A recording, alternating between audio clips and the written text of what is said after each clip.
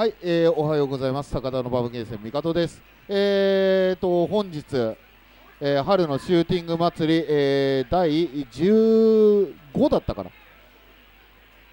15戦、えーバイバイフェイズ1、えーニューバージョン、えーまあ、95人に出して、えーと、あまりにも難しいから、あこれは撤去されると危ないと思って、えーニューバージョンが、えー急遽無料で配布された。えーまあそんな経緯がある、えーバイバイフェーズ1、えーじゃあ早速じゃあ今日のプレイヤーの、えー、京次君。拍手。はい。あこんばんは京二です、はい。今日はありがとうございます。すごいですね。ババンド仲間も今日は。そうですね、はい。バンド仲間とあとバンドのお客さんがあまあ、バンドのお客さんも。来ていただいてありがとうございますやっぱモテるベーシストは違うぞ、いや 池田店長ほどじゃないんで。えー頑張らないといけないなじゃあというわけで。じゃあ今日のも目標はい、えーとプレイ方針などを。はい、えー、と一応ワンコインクリアを目標に、おえー頑張っていきたいんですけれども、えー、とこのゲームボンバーがあんまりその緊急回避にならないんで そうなんですよね、はい、なんで割とその敵を殺すために、うん。まあ、戦略的に打っていきたいなっていったところとあまあ個人的にあの佐藤剛さんの曲はすげえ好きなんで、はいはいはい。ええ。なんであの全曲聴いてもらえるように、エンディングまで、はい。えはい、頑張りたいなと思います。ーじゃあ準備ができたら、はい。行ってきてください。はい。じゃあじゃあもうだ誰もいいよ。誰も。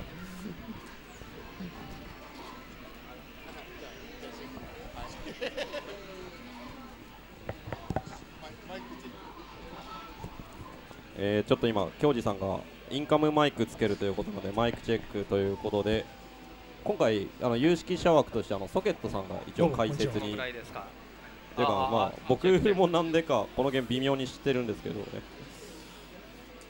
え、ね、何？俺とソケットさんでいいんですか、これ？あはい。ああ聞こえておりますか？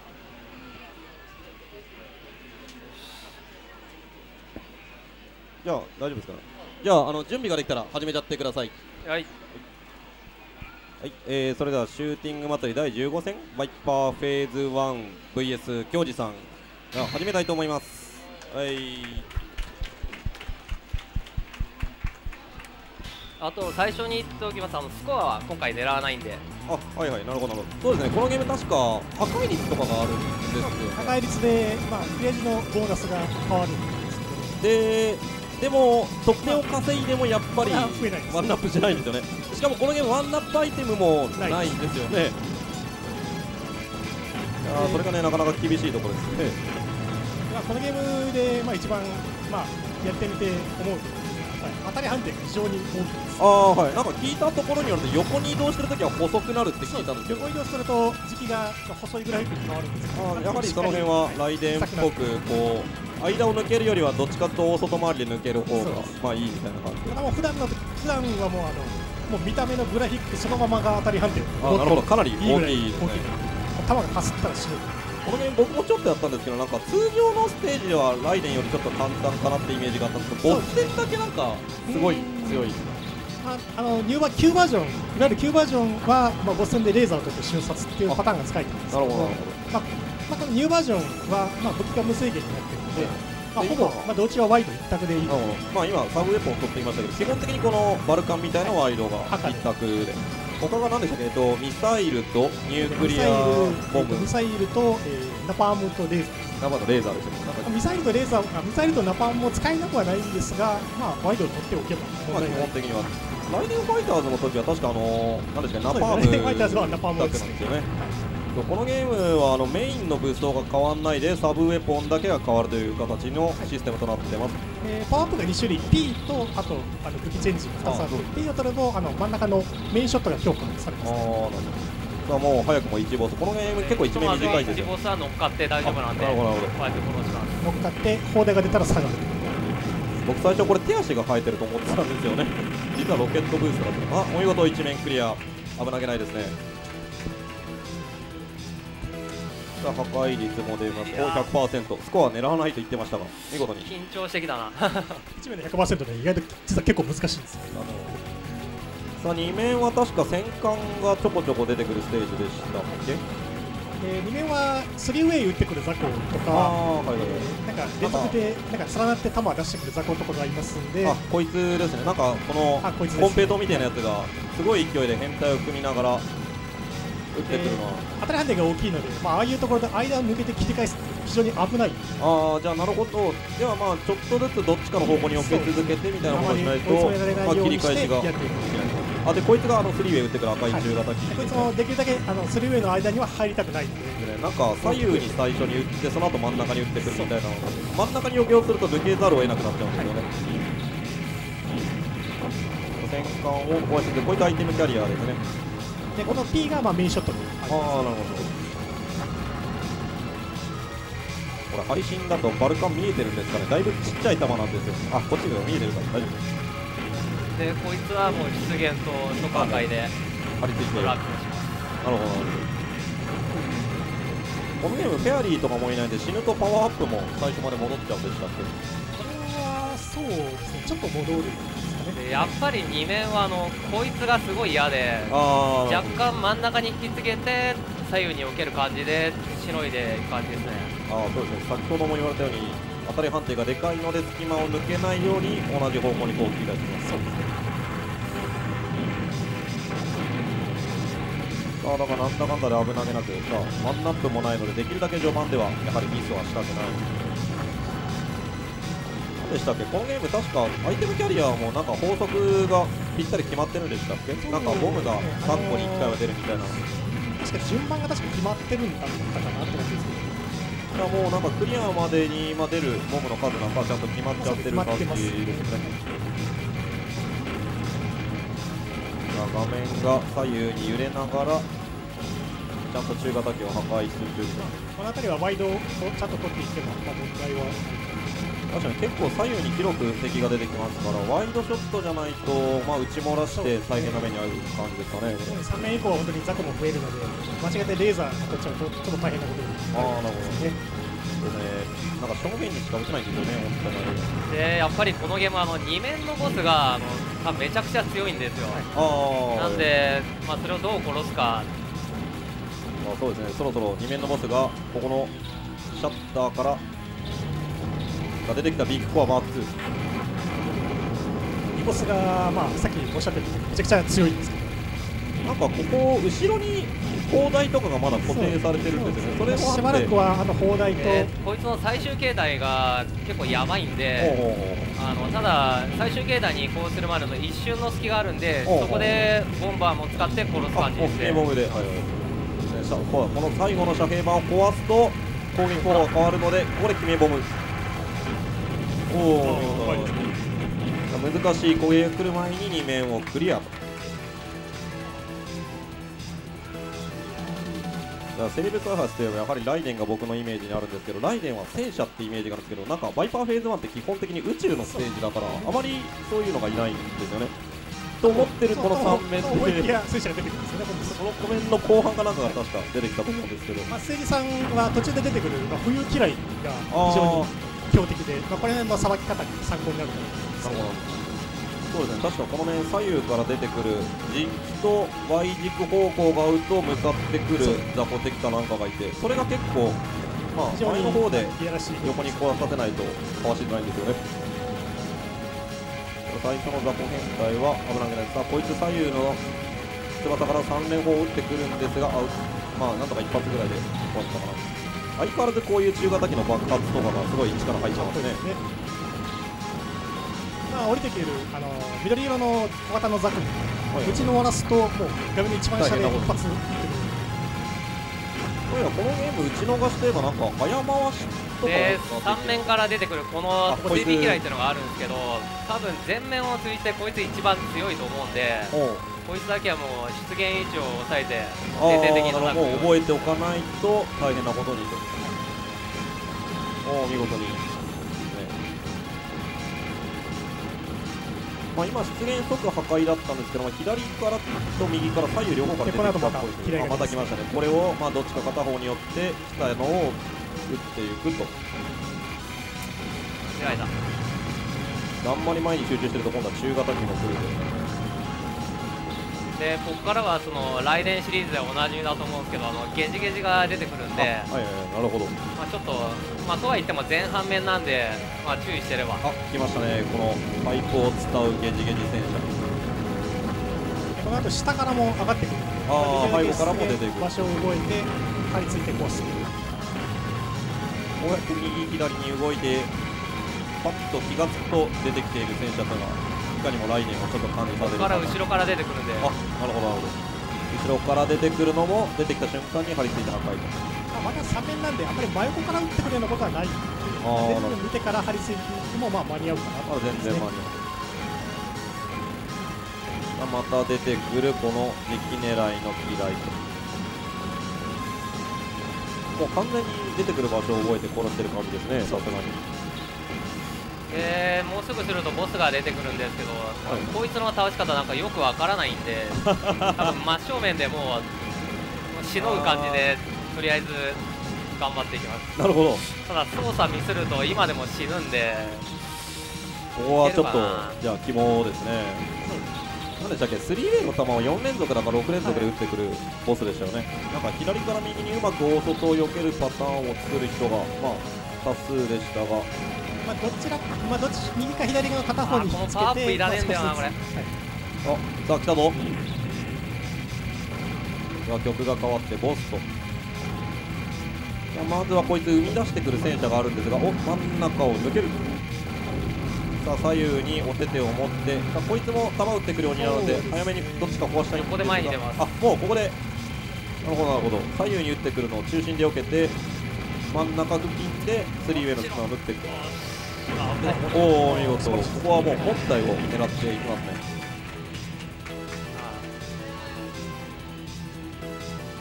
さあなんとかちょっと危ないと言っていましたが、まあ、ボンも4つ残した状態で。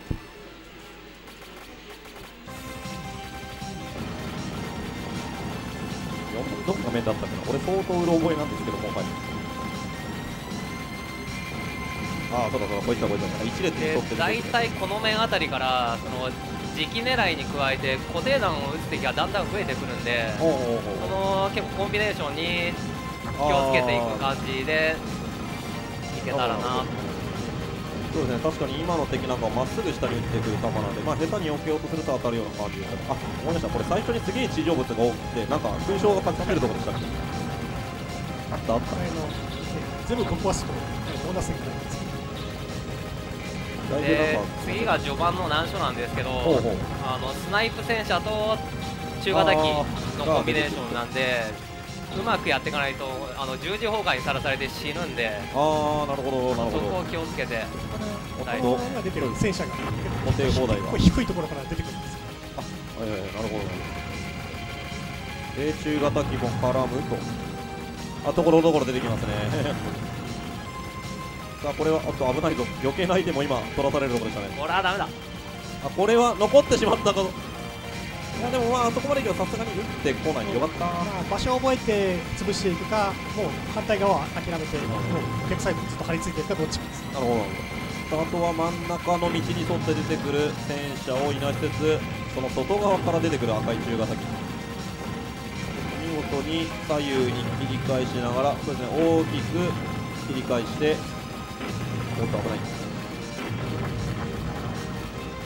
でこの次からはあの銀の弾があのどんどん生産されてくるんですけどあはいはいはいなるほそれが弾を引き連れてくるんどあこいつでですね。これとそのスナイプ戦車のコンビネーショああはいはいはい。なるンに気をつけて感じで。ほどなるほど。結構近いところのこ横から。こはいきなり難しくて。銀の弾が5セット来るごとに上から中型機とか雑魚が出てきます。なるほど。なるほどじゃあまあ5セット数えてまあ次の中型とか3の4の。ちょっと次から上に上がって片方だけでもそこを破壊する。あちょっと 怖いな固定砲台戦車を壊しつつこの銀色の丸っこいやつまあちょっと戦車も気にしながら動かないとまず。そしてこの固定段道をなんとか作って出てきた瞬間に、まあ、隙間を作っていくとやーこいつ近いでですね次はちょっと前に出ないと殺されるんで前に出ます。前に？これ。ここで前に。おっと危ない。これ何気になんか背景であの銀色の球生むための動いてるやつなんですけどなんかボーリング場みたいな。ああやってコロコロ行ってね出口の方行って実は発射されてるんだよっていうこの演出が背景にも実は凝ってるという。発射台がボスになってます。ああれボスでしたっけ？そうです。ねここのボスも結構まあ、大体ボスはなんかひどいと思うんですけどね。大体のボスがなんかすごい速いウェイダンを打ってくるんですけど。まあ、このボスも3ボスみたいに、まあ、動きを決めて避けられれば、まあ、頭の間で通れるんですけど。であとなんか僕やってる人に一度聞いたことあるんですけどなんか音がするんですよね。確か打つ瞬間に。このボス最終形態で銀の弾が残るかどうかであのボンバー撃つか決めるんで。あなるほどなるほど。そう最初の内山台がこの銀色の球がまた生まれてくると。さあ外側を縫って。残ったな。おーっと。打ち戻したやつだったらおこれは模様同撃か。いやー早かった。まあ多分ここのこれを倒せてれば上抜けていけるんですけどちょっと危なかったんで。なるほどなるほど。さあなんだかんだで決めボム使ってまだまだノーミスこのゲーム全8面と確かなっておりますのでもう半分過ぎましたね。これでやっぱりこのゲーム5面と6面があの多分かなり難しいんでごめんから。そこを超えれればまあオールクリアが見えてくるかなと思いますね。なるほど。56面がもう次の木本そうですさあこの面確かアステロイドベルトステージでしたっけ？隕石体かなんかのステージだったと思うんですがこの面も序盤はいいんですけど後半はその隕石に戦車が配置されるので中盤あたりからの、まあ、戦車のさばき方がやはり西部開発というか戦車結局は序盤では出てこなかったら油断してたんですけどあそしてこの赤い機雷ポイントが壊すと打ち返しなんか来ます。さすがもう本当嫌い。であれあの嫌いやつ撃つとちょっと上に移動してしてしまうんです。あそうなんですか。はいはいはいあまり上の方にいるときに撃つと画面の外に押し上げてあ壊せなくなるあ画面の外に。行っちゃうんですねなんでしばらくちょっと滞留させてから打ち込んで壊す。ああなるほどなるほど。外に行っちゃうとまた時間が経たないと。下に降りてこないじゃあ他のとなんかうまく合わさっちゃったりすると大変なことにみたいなですねで今突っ込んできてる緑のやつがいるんですけど、はいはい。あれを逃してしまうとあの後ろから撃たれるんですよ。後ろからなんでもう装備がレーザーとかだともう本当終わってる感じで。あーなるべくワイド系じゃないとまあついとまあ、あとこの目は本当にもう横から出てくるこいつらがあもう最悪ですね。画面を切り替えた瞬間に。やっぱ雷雷電系なんだなっていうところこ の隕石のところの戦車がすっごい低いところから出てるんです。よあーあ危ないあとこのステージ何でしたっけ隠しボーナスあるんですよね。なんか稼いでもあんまり見ないですけど何でしたっけ十字にある勲章の勲章の間に止まってると勲章キャリアが出る。ああそうですね。そんなんでしたね。無駄にやったことないのに知識だけはあるんですよねこのゲーム。でここはちょっと安全のためあの左のあの嫌いをボンバーで壊します、ああはいここはもう。まあ、こんな感じでシールドを貼るみたいな感じであなるほど。のパレスナンを防ぐ感じでやってますね。そうですね。このゲームやはりボンバーが打った瞬間無敵じゃないということで決めボムはじさあもうすぐボスだけどここのボス要注意。真ん中より前にいたら死にます。真ん中よりこれです敵のす。でにやられるんですよねこいつだなで最初の体第一形態の玉焼きはもうほとほぼパターンになってるんで。ああなるほどなるほど。こう左右にで真ん中。このと3種類の繰り返しああますはいはいはい。で途中で第二形態に変わるんですがそうなると、はいかなりやばい攻撃が増えるのでボムを投下して張り付いて終わらせるんですけどそうですね。完全に今同じ避け方でちゃんと避けて次発狂してくるんでここでますここで。ああーなるほど。今すごい勢いで扇状が溜まってきましたね。あー危ねさあお見事。あ危ないと言ってた。ごめんもとりあえずはクリア何でしたっけ？このゲーム結構ボスが地上判定なのにこいつだけ空中判定でなんか体当たりを食らうっていうのもあってあまあ隕石も相まって結ー構前にいると死んじゃう僕も最初はあれにあのぶち当たって死んだことありますね。ああなるほど。なんか打ち込もうとして接近してたらバーンってぶつかって。そうですね。このゲーム一面のボスとかも結構密着して打ち込むのが基本みたいなところあってついつい前行って死んじゃってなんかすごい距離突っ込んできてますねこれまあ、この面が多分敵の最終防衛ラインだと思うんですけど、まあ、このはい。BGM めちゃくちゃかっこよくてすげえ上がるんですよね。もうね、この佐藤剛さんのね、こう曲を全曲聴くために今日はクリアを目指すということで、この政治はもう戦艦の位置を覚えて前に出て速攻破壊する。ああ、なこいるほど。つが結構やばい戦艦なんで。戦艦。がかなりやばいです。ねあこのばらまき、でほっとくと固定弾みたいなばらまきどんどんやってくるんでも戦艦をまあさっさと出てくる場所を覚えて元気かと。構成としては2面に似てる感じかもしれないですけど、敵の攻撃の激しさが全然違いますね、さすがに。で、この面、なんかさっきも出てきましたけど、後ろからなんかたまにでっかいやつがなんか。のなんか上からすごい速さに突っ込んでくるやつの後に必ず後ろからあこれの後に必ず後ろから2回出てくるとこれも結構覚えておかないといきなり当たってそう死にそうな。ですね。まあ敵がいるのとは反対側から必ず出てくるのでなるほど。なるほどいきなりぶつかるってことはないんですあなるほど。敵の位置を見て出てくるんですねあれは。おなかなかちょっと。で次は結構難しい。次が次が難しい。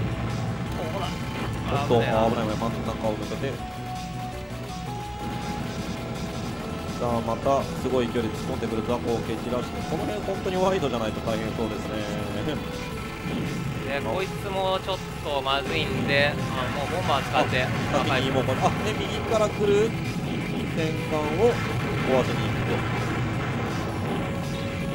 さあボムの数がちょっと心もとなくはなってきましたがまあ決めでボムしかちょっと戦艦倒すのを遅らせてあのボスのところにアイテムが出ないようにしたいんでちょっと粘ります。るほどなるほどそうですねこのゲーム遅回しも一応あるんですよね。なんか中型機出しとくと。はい。あでここで激化と。多分これミスってレーザーとか取ると本当終わるんで。ああなるほど。下手なアイテムを出さそれがないように。一番怖いですね。なるほどなるほど。まあ安全策の保険ということで、まあ、今の戦艦は一部残しておく。確かに余計なもん取って死ぬっていうのが一番復活が難しそうなゲームってい。うこともあって、まあ、できるだけやっぱり死にたくないとえーまあ、この政治のボムがあボスがまたなんか激強なのでああはい多分一番難しいボスなんじゃないかと思うんですけどまあ、この面のボスは開幕がかなり重要だと僕は思ってるんですけどね。開幕、まあ、ボム打って張り付くのかな、で次のボスが多分このゲーム中一番強いんじゃないかなとこのゲ思ってるんで。ームで一番とりあえずワンボムで形態変化させてからここから速射弾がやばい。おっとこれはうん抜ける。危ないあの扇状の弾の中央が時期を狙ってるんですがそれに加えて直進弾が混ざってる。んでまだか。あーなるほど。おっとなかなか死なない。早く死んでくれ。あ危ねああすごいです。おお見事。いやちょっとヒヤヒヤしちゃいましたけどまあ全然まだいけますねこれは。まだノーミス。さあ残り2面。でここからは敵の本拠地に行く感じなんですけど多分なんかこの面は割とその手薄な感じがするんですよね。むしろ。前の面の方が辛かったまであるっていうか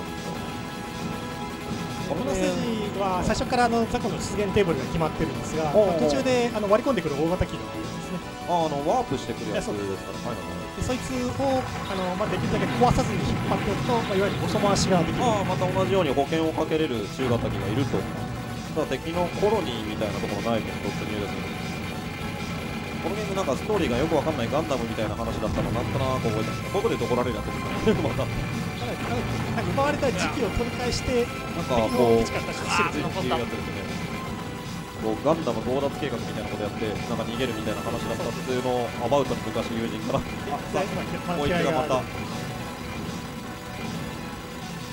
これまたあの3面あたり出てきてやつあ違う違うこいつですね。こいつを倒さないでいると遅回しができるってやつですね。あここもまあ、嫌いは倒すとと危ないので、まあ、ここは完全に遅回しのパターンでいってますね。何このバラマキ。ただこのでかいやつは最後あの弾打ち上がら下に下がってくる。ああ、はいまあはい。、壊れない程度にあの、まあ、火がつくまで打ち込んでおいて最後。逃げるまで、まあ、逃げ出すようなところで壊す、でこの中型機は出てる間雑魚敵出てこないんであのわざと滞留させて、はいはいはいはい、まあ、楽に進むようにしてます。ああなるほどなるほど。でこのなんかブワーっていうと突っ込んでくるんで。ああはいはい音で。ででさっきでさっき嫌いが出てたので落ち着きから始まるんですよそしてまたちょうど危ないやつが出てくると。これ完全にパターンそしてまたもう1機目と。さあこちらもじゃあ同じようにですね。まあでこれがもう1回ぐらい。もう1回。でなるほど。これをやっておけば、まあ、ほぼ雑魚雑魚と戦闘せずにボスまでいける。じゃあまあ斜めの道中で困ってるような人がいたらねこの中型機を逃すパターンでなるべく無駄な戦いをしないというやーでも怖いなやっぱり。まあパターンは完全に決まってるとはいえ。ここでなんかうっかり死んじゃうとなんかこいつの弾が遅くなってあ間抜けられなくなるんですよ。ああなるほどなるほど。そんなことが起きるんですね。さあまたこうやって最後に倒すとちょうどこの危険な時期狙いのやつが来ると。これバッチリですねさあアイテムはさっさと取って次ボスーこの雑魚変態が出た瞬間に撃ってくると。まあ、赤いのはちょっと場所を覚えて。ああはいはい。この中型機はもう出てきた瞬間に。ボスとかぶっちゃうんで早くさあここ開幕開いた砲台が時期狙い危ない。よしちゃんと回しましたね。すでこのボスはあの真ん中の球体か、はい。なんかあの球体のよ四隅についてるなんか砲台みたいな、はいはいはいあれを破壊するかすすると倒せるんですああはい。はいはいどっちかでいいんですねだかこれら球体にある程度打ち込むかあの砲砲台を2つ壊すとボスが発狂して攻撃が激しくなったり戦車が出てきたりす。るああなるほど。じゃあ今こうちょっはいできるだけちょっと。とダメージ調ここは整最初にやっぱり奥の砲台を壊さないと大変なんでああなるほダメージ調整をしてなるべくそのど激しい攻撃を少なくするようにしてます。どなるほどなるほど。まあ発狂させないようにダメージを調整しつつでまあどっちも。そう赤くなってる点滅で一応ダメージ状態を測る感じですね。なるほどで手前のやつの方がはるかに柔らかいんで。うんう。んほうほう。奥の方が硬いの？おっとだ壊したらこれで。一気に破壊すると。ああなるほどなるほど。これが2つ残ったやつがまとめて回してくると大変なことになる。おお見事。でまあこっから先のもう最初の曲がね曲が。すごい好きで。さあいよいよ最終面に突入。今のところノーミス8面は結構短かったと思うんですけど。短いんですがなんかでっかいのがどんどんなんいろいろとまあボスラッシュってほどではないけど今まで出てきた敵のオンパレードみたいな。嫌いもいっぱい出てくるし結構大変なおっと危ない。あちなみにこのゲーム確か縦の移動より横の移動の方が速いとかあるんでしたっけね？なんか一応縦が遅いですねなので確か避けるときは斜め方向とかで、まあ、うまく横に行くと、まあ、それなりに早く避けれたかなと記憶しております。でこいつはあの時期の Y 軸を合わせて突っ込んでくるんで、はいはいだ早めに下がっちゃうとすごい大変なんですよね。ああはい横から来ちゃう。あの位置でやるとほとんど避けずに済むんで。なるほど。やや前目で壊す。で次はボンバーを使います。あここはもうボンバー出て決めボムを使っていくとでこいつを早めに処理するために今のボンバーであ殺してます中型機と絡むと危険なので早めにボンバーでまとめて壊していくということですねさあもうそろそろラスボス出てくるぞ。ちなみにこのゲーム実はエンディングの分岐がここで行われるという、まあ、バッドエンドとグッドエンドがあるんですけど、まあ、普通にやってれば、まあ、グッドエンドに、まあ、このそうです最後のミサイルが壊せないってことはないと思うんですけど、まあ、多分ないですね、連射もついてますし、まあ、そうです。テレビでも大丈夫だと思うんですけれど、さあ、だんだんとミサイルあとはこのミサイルをまあ地球に落ちるのを阻止してこのへばりついてるヤトを倒せば。このマーク、いろいろ危ない気がするんですけどね、今だったらね、本当に。さあ、さです。最初来た時はここあのいきなりミッションが発生するんでおうおうすげえ焦った記憶あります さあ、出てきたぞ、ついにラスボス。最初はいきなり弾を撃ってきますいやー、これ知らないで食らうんじゃないですかね。さあ、出てきたぞ。時間以内に、このミサイルにくっついてる部分を破壊しないといけない。確かにいきなりラス面まで来てこんなことできたらちょっと焦ります撃ってくるのが雑魚敵も出てきてるんでさあ時間があー21と。稼ごうとします。さあ発射するとこ波の撃か。残りタイムが0秒になったから破壊すると結構高得点で勲章が出るんです。よあなるほど。0秒になってもに、はい。逃がさなければ大丈夫。すぐになんか発射されるわけではない。なるほどなるほど。あれできたらどうする。まあ基本的にこいつ真ん中を抜けるようなやり方でもいいんですけれど。ね角度がついちゃうと避けづらくなっちゃうんで。直進弾の間には入らない方がいいかなああやばいな。ちょっとタイミングがで良くない。今度は回転する球。隙間を1回は抜けなきゃいけないんで頑張る。よし頑張った頑張った、まあ、次は逆回転が来るぞと。さあここも抜ける。でこっからっすね。ここからここから。真ん中で。おお素晴らしい盤石の立ち回りでノーミスクリア拍手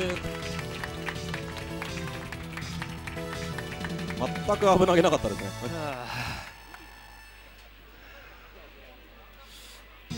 で一応まあこれで全曲なんですけれども。はいあのバッドエンディングあの、はい。ミサイルを破壊しないでこいつを倒すとバッドエンディングの曲が流れるんですけど、まあ一応専用の曲があるとまあそれもあの結構ライデン2のエンディング曲を彷彿とさせる感じのめちゃいい曲なんでまあ機あ会があればまた次はバッドエンドの方で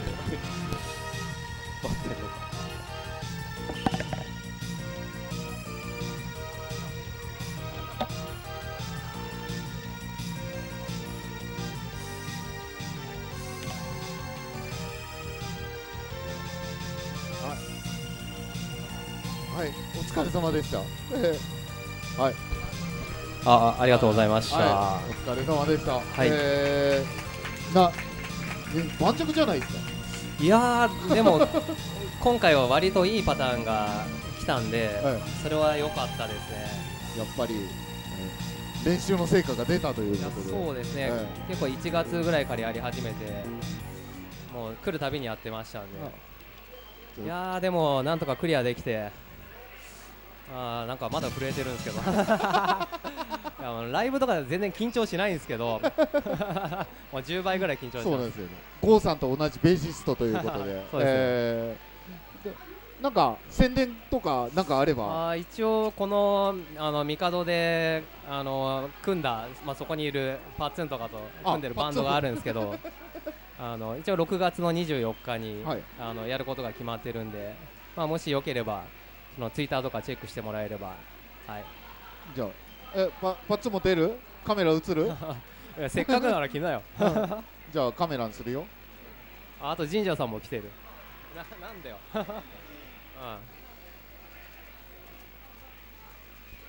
はい。カウントダウン TV をご覧の皆さん、こんばんは。ファントムアイリスです。ファントムアイリスです一応ねあのバーチャー1のねの対戦台で。始まったバンドなんですけれども皆殺しのパッツンと言われてます。本当ね、いつかぶっ倒してやろうと思ってうん。ワンなくなっちゃいましたからね。またマジですか？ねぜひその時は。次こそリベンジするわい まあやまあねそのバイパーフェーズ1あの見た感じその結構シンプルだと思うんですよあのパワーアップを取ってあのセレクトは武器セレクトは赤だけでいいんでまあそれでシンプルに楽しめてで、まあ、最高のね演出と音楽あるんでぜひあの遊んでいただけると嬉しいかなと思っております。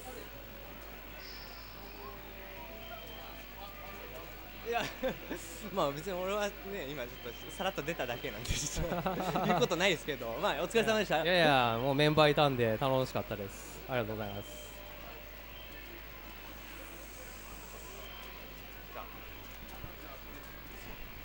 そんな感じで、えーファントムアイリスの皆さんでした。えーありがとうございます。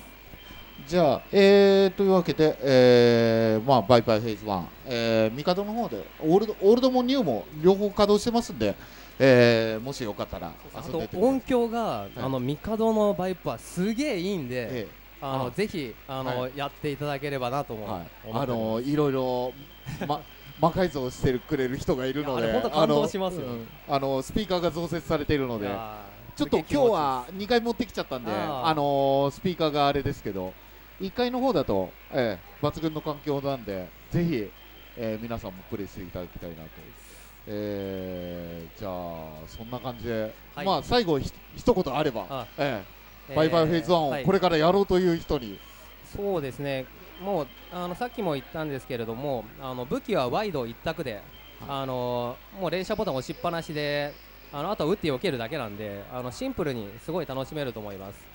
で、ボンバーは緊急回避にならないんで、あのバカバカ使ってた方があの楽しいと思います。まあオールドよりは出るの早いけどみたいな感じですね。えええーちょっとは早いらしいんですけど、えーあんまり信用なんないんで、はいえーというわけで、えー見事ノーミスクリアということで、京司君に皆さんもう一度、えー大きな拍手をはいご視聴いただいた方、あの応援しに来てくれた方、ありがとうございます。えーありがとうございます。じゃあとというわけで、えー春のシューティング祭り、えー2017第15戦、えーバイバイフェイズ1、えー明日は、えー1944、えー、あさってが、えーセクション Z、えーとなっております。えー ななんともまあ、えー今週はマイナーなシューティングということで、えーえーでで来週が、えー26日がヘビーメタルライデンのサインサイン会、えーそして、えー27日、来週の月曜日、アーガス、えー火曜日が達人王、えー29日がジンジンジップ、えーで最終日が、えーウルフファングのスペシャルモードと、えーまあ残りあと1週間ちょっと、えーまあもうちょっと、えーシューティングの方お伝えしたいかなと思います、えーじゃあ今日はバイバイフェイズ1でした、えー春のシューティング祭り、えー明日も、えー大体この時間にやりたいと思います。よろしくお願いします。お疲れ様でした。